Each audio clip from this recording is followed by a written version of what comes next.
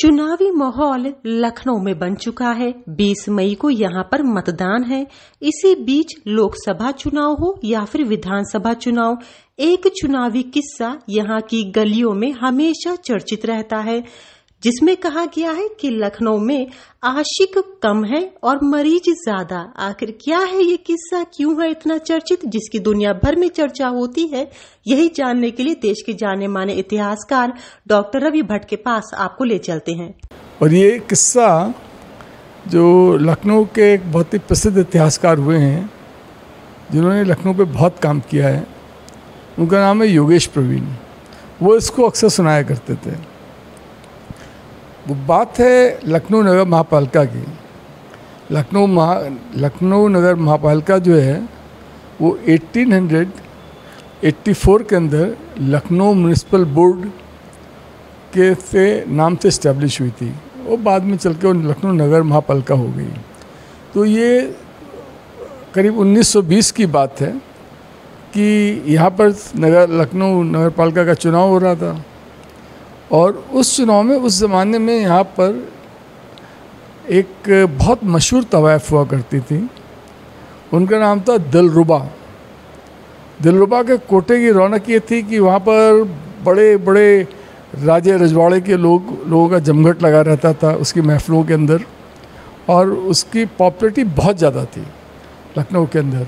या यह कहें कि सबसे ज़्यादा मशहूर उस समय की तवायफ़ वही हुआ करती थी। वो तवायफ़ ऐसे ऐसे आजकल के एक्टर जो होते हैं, बहुत पॉपुलर हो जाते हैं तो उनकी एक फ़ैन फॉलोइंग बहुत गदब की होती है।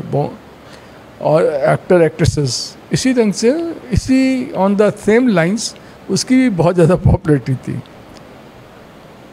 अब पता नहीं किस वजह से शायद उसको लगा कि मेरे हाथ में कुछ पावर भी होनी चाहिए। तो उसने ये डिसाइड किया कि इस बार हम चुनाव लड़ेंगे।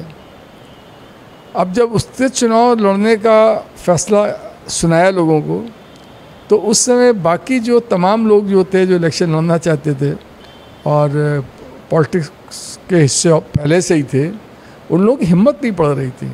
उसकी पॉपुलरिटी को देखते हुए कि उसके सामने इलेक्शन लड़ेंगे तो हार जाएँगे। आखिर में एक उसी समय वहाँ पर चौक में, ये चौक में रहती थी और चौक में ही वहीं अकबरी गेट के पास में ही रहते थे एक हकीम, बहुत वो भी काफ़ी फ़ेमस हकीम थे। उनका नाम था हकीम शमसुद्दीन। तो हकीम शमसुद्दीन के दोस्तों ने उन पर बहुत प्रेशर बनाया कि अरे भाई, आप तो कम से कम लड़िए, बिना लड़े कैसे वो इलेक्शन जीत जाएँगे तो कोई अच्छी बात नहीं होगी लखनऊ के लिए। और हम नहीं चाहते हैं कि कोई तवायफ इलेक्शन जीत के आए, कोई आदमी, आप आइए लड़िए। तो फिर हकीम शमसुद्दीन ने अपने दोस्तों के प्रेशर के आगे हथियार डाल दिए और उन्होंने चुनाव लड़ने का निर्णय किया। तो हकीम शमसुद्दीन ने पुराने लखनऊ में जो अकबरी गेट पे थे, उन्होंने एक, तमाम दीवारों पे एक नारा लगवा दिया, लिखवा दिया।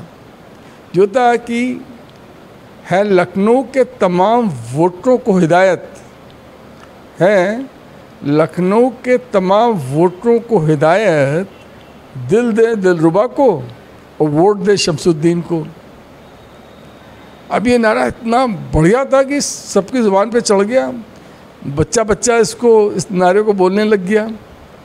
कुछ नारे ऐसे होते जिनका कि वोटरों पे बहुत ज़्यादा इम्पैक्ट पड़ता। है इसका नतीजा ये, इसकी खबर जब दिलरुबा को लगी कि भाई ये तो नारा कहीं हमें हरा ना दे तो उसने एक नारा दूसरा लिखा है। उसने लिखा, लिखवाया नारा लखनऊ की दीवारों पर कि है, लखनऊ के वोटरों को हिदायत।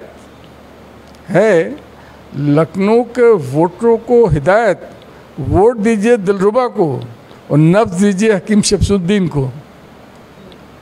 जब इलेक्शन का रिज़ल्ट आया और दिलरुबा बुरी तरीके से इलेक्शन हार गई और हकीम शमसुद्दीन इलेक्शन जीत गए। इसके ऊपर दिलरुबा जो थी, उनको मुबारकबाद देने गई।